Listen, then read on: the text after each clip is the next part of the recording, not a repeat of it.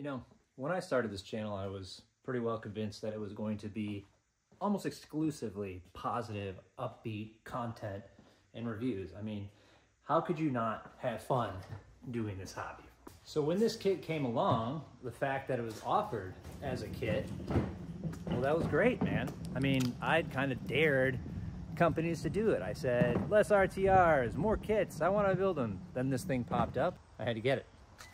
So get it I did, and it did take a little while for it to actually show up. The reason it's actually taken me so long to actually make the video is that the build process was so unpleasant, so difficult, that I figured, okay, maybe I'll take it to the track. Maybe it'll show its colors at the track and it'll actually be a great car. And all of those frustrations building it will be wiped away by how it does on the track. Off to Indy RC we go to give it a try. Now, I usually don't go to Indy RC on off-road days, but uh, Tuesdays is an off-road practice day, so I figure I can get in there a little early and not bother anybody with these things. So let's get to it at the track here. I've also brought the LC Racing EMB that I built and did a video previously, so we'll compare it to that. That was educational. Welcome to Quiet RC. As usual, I'm Rob.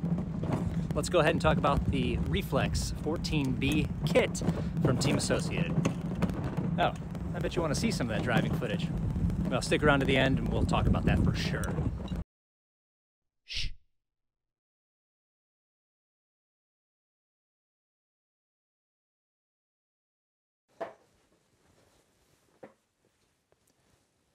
We are absolutely going to jump right into the building of this. I built this a little while ago, so it's not so fresh in my memory, but what is fresh in my memory is the frustration of actually building this kit. So I'll try to keep my cool during this video, but no promise. To start off, you are, like with a lot of kits, going to do the front and rear differentials, which are built the same. Now, right away, I'm like, what, what are these diff rings? Because there is this weird annotation in the manual trying to tell you something about different differing sizes and teeth and everything like that and different numbers that have no correlation to anything.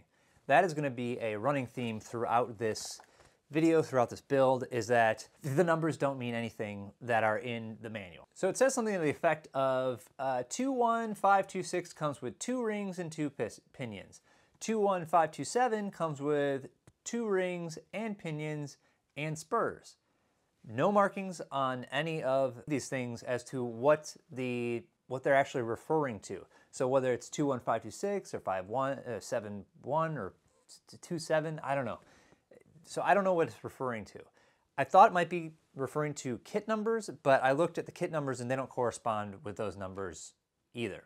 To be a lot of this uh, requesting of you uh, in this video here too is comment below if you know what the heck they're talking about. I think I've mentioned this in another associated kit that I've built. I can't remember exactly what it was, but the numbers that they put in the manual have little reference to what you're actually having in front of you. I know for a fact that if you want to like order these parts, that's how you order them. But if you have a part tree with 15 parts on it and in every step in the instructions, it's just referring to every different part by the same part number for the whole tree, it's not it's not helpful. Like, don't even put the number in the manual. It's not helpful. As you're building, you're putting the planetary gears in. They're extremely snug on the spindles of this, you know, three-sided axle thing that you're, you're putting in there. I forget what it's called.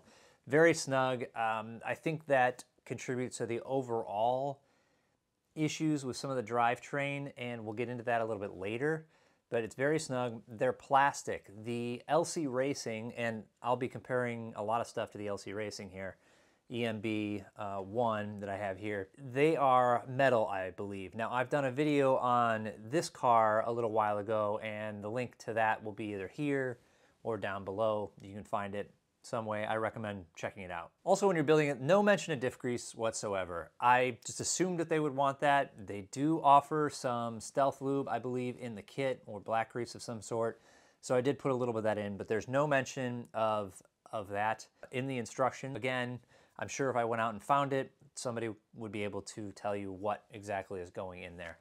Um, now I can't remember. I might have put in actual like diff lube. The center diff looks very similar to the front and rear, but it is put together differently. And there is this center shaft in there that has a hole on each end for your pins to go through uh, to hold everything in place. However, it's just barely shorter on one end versus the other. And again, the manual is not very clear on which is which, which way you flip it. I believe I did build it one way and figured out that I had to actually flip it all around, even though I really tried very hard to look at the instruction manual to see which way it was supposed to go. Now you have the front and rear diffs in, you have the center shaft in with the center diff. The diff covers are very similar front and rear, but you will notice that there is a difference between the two, so make sure you are paying attention to that when you put them in. Back has this little uh, channel, and the uh, front one has a little extra hole on top. The drive shaft cap kind of pressure fits in there, so you can just push that on when you're done putting everything else in. When you're assembling the front steering, the image in the instruction manual is clearly that of a ball bearing, but what you're actually getting is a bearing or what we would just call a like brass bushing.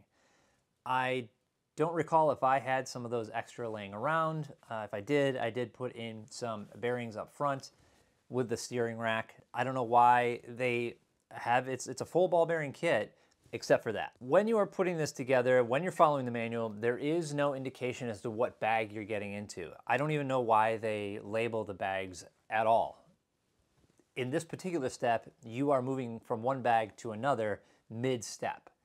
So you just have to kind of know that it really doesn't matter. Eh, looking back, I would actually just open every bag, sort every screw, try and find all the right sizes, put them all together, and that's how I would do that if I were to do it all over again. This was another recurring thing in the manual is I couldn't really tell what screw they were actually calling for in the step. Uh, this also applied to washers versus spacers.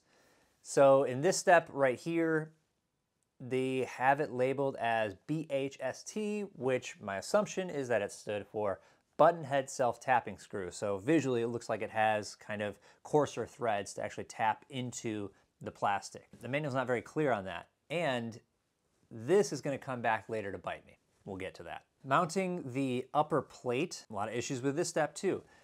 It doesn't tell you where the body mount actually goes. It doesn't tell you what screw to use for that. It just kind of has a picture of it and doesn't even give like a, a line to show exactly where it goes. So I just kind of had to guess there and know that they kind of generally use the same size screw without the, throughout the kit. I think it was a six millimeter one and I ended up using that. When I did get that first bit together, the drivetrain was so tight that I knew that something was wrong. Now I would take each individual part out, the front diff and the rear diff uh, without the drive shaft in there, spun just fine. I put the drive shaft in, it spun just fine.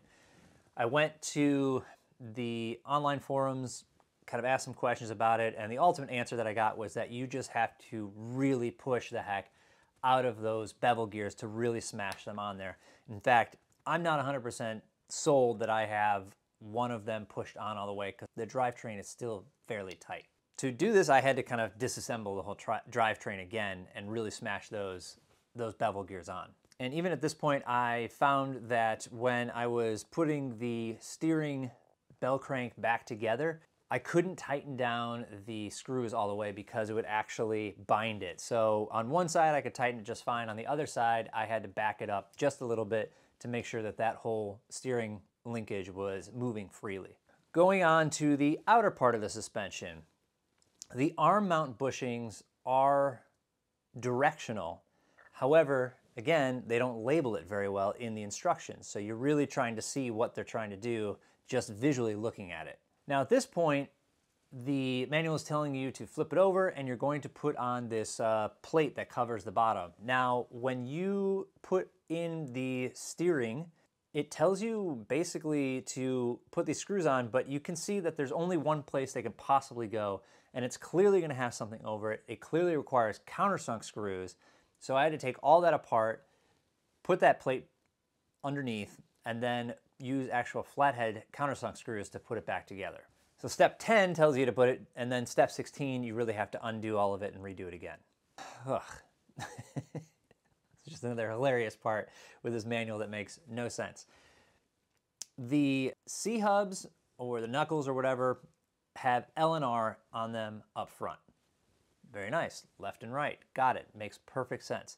When you go to do the rear, they have A and B, but it doesn't tell you what A and B refer to if it's left or right.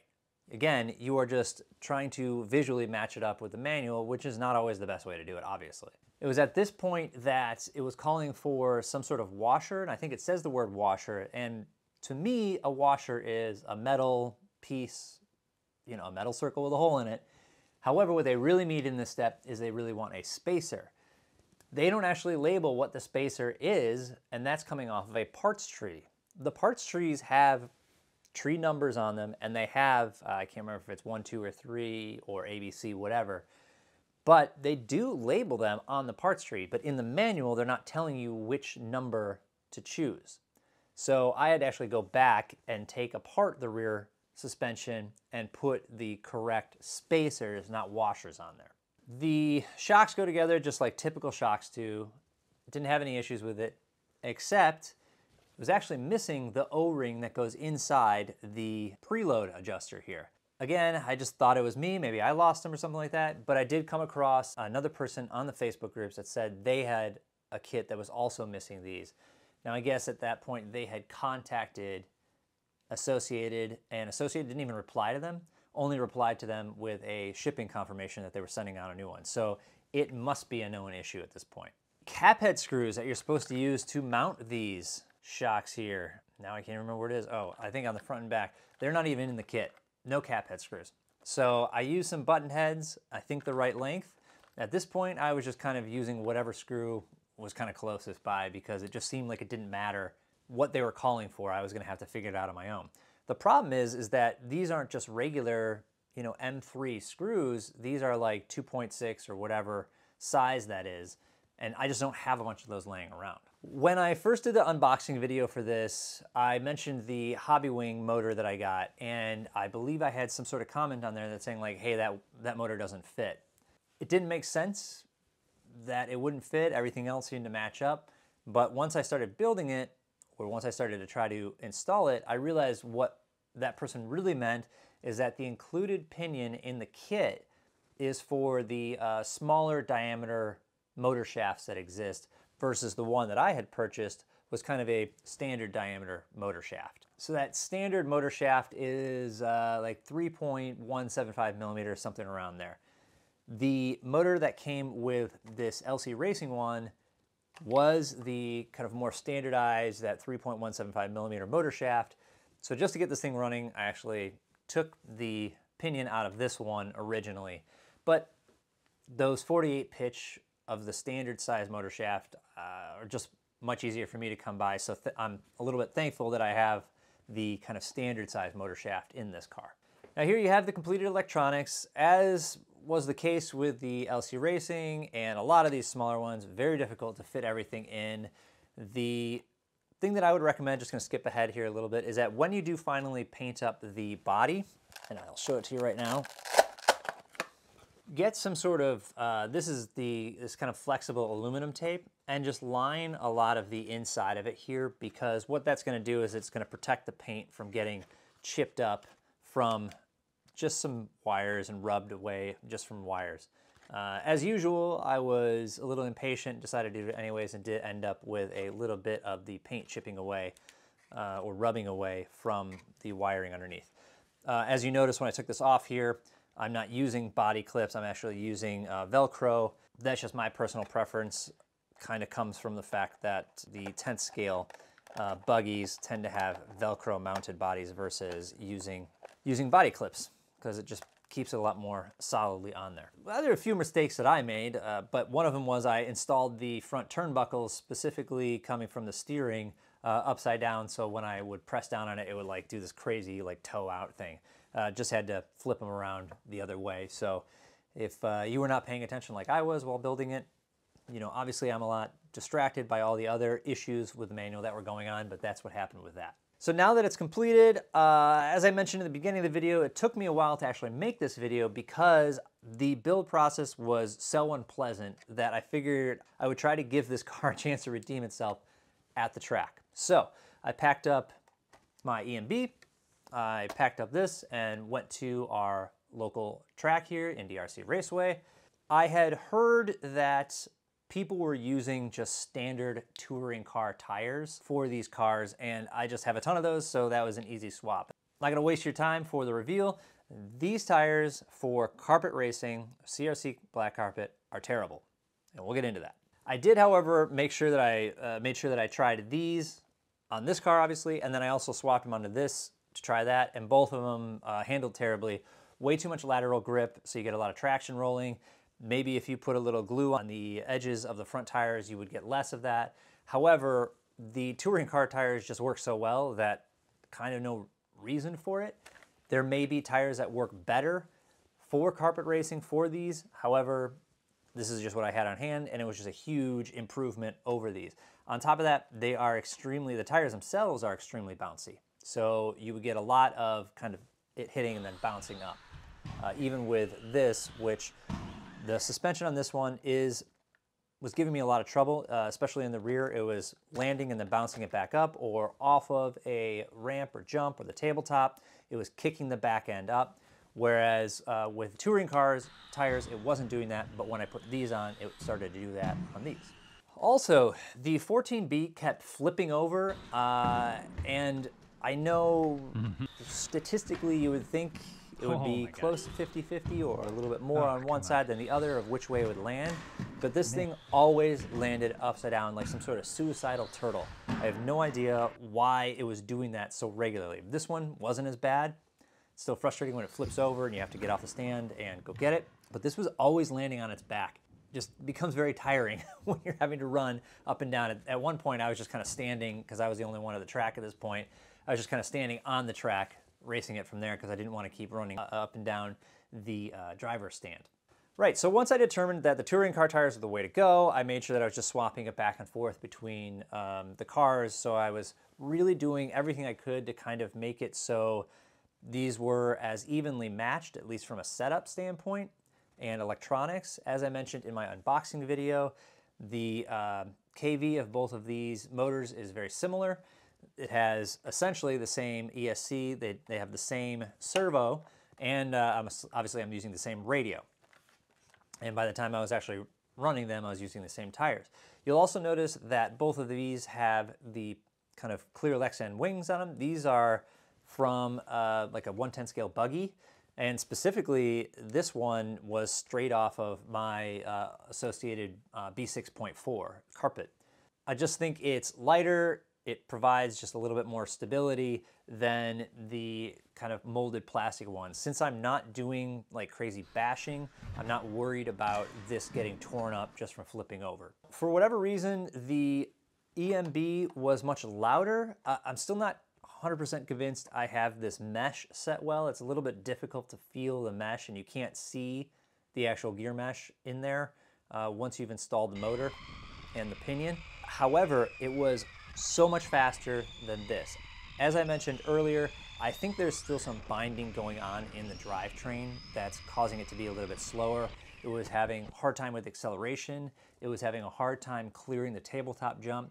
This one did it no problem every single time. And as I mentioned, the rear of the 14B was extremely balanced. You really had to land your jumps perfectly if you didn't want that back end kicking back up. That is probably something that can be worked on with tuning, you know, whether it's uh, getting my droop set correctly, whether it's using some thicker or thinner shock oil, or maybe using softer springs. But that kind of raises another point when comparing these two kits from a purchasing standpoint. The LC Racing, this is the EMB 1HK Pro kit version, and it comes with everything, right?